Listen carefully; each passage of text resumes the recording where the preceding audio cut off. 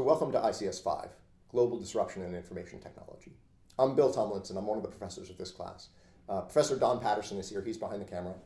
Uh, now he's in front of the camera. Um, and Bonnie Nardi, who's the third instructor, uh, isn't present right now, but, but the three of us together are, are the teaching staff for this, uh, this course. The focus of this course is on the ways human civilizations and the ecosystems we live in are being disrupted by global change and in particular, looking at the ways that information technology can help to preserve well-being despite this global disruption that's happening. And on behalf of Professors Patterson and Nardi, um, I'd like to thank you for taking this course. I think it's going to be pretty exciting, and we're excited that you're here with us. So this course is being offered across all nine campuses of the UC undergraduate system. Um, and there are students in the class who are potentially all over the world who are, who are studying abroad, can still take this course. And so um, would like to offer a special welcome to anyone who's not here on the UC campus where, um, where Bonnie, Don, and I are all based, and anybody who's taking this, uh, this course somewhere else in the world. And so, since this is an online course, if you encounter any issues uh, with the technology or, or other challenges, please let us know. So the first main topic of this class is anthropogenic environmental change. Now the word anthropogenic comes from two Greek words, anthropos, which means human, and genesis, which means origin. And together, this means that it's environmental change that is of human origin.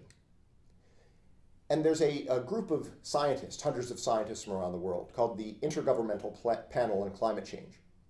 And in 2007, this group put out a report. And this report said most of the observed increase in global average temperatures since the mid 20th century is very likely due to the observed increase in anthropogenic greenhouse gas concentrations. And these temperature changes are also leading to a variety of other environmental outcomes, things like shifting sea level rise and shifting growing seasons, so plants growing in different areas and um, ripening at different times. And these shifts, these environmental shifts, then lead to a variety of economic transformations and potentially social upheaval that can arise from it. So here we have a problem. The world is changing and we don't necessarily know what to do about it. But we think that information technology can potentially play a role in addressing these problems. And that's why we put together this course. Even though at its heart, these issues are human problems and it's going to require human activity to change them, we think information technology can be a critical part of how we're going to address these issues together. Information technology is among the most powerful tools that humans have ever created, and we think it can potentially lead to some really interesting new ways of living. So some people might say that these new ways of living will need to compromise our quality of life. Um, if we're not able to have access to the same level of resource availability that we currently find, that this might cause our lives to get worse. But I would argue that in many parts of the world, quality of life is already compromised.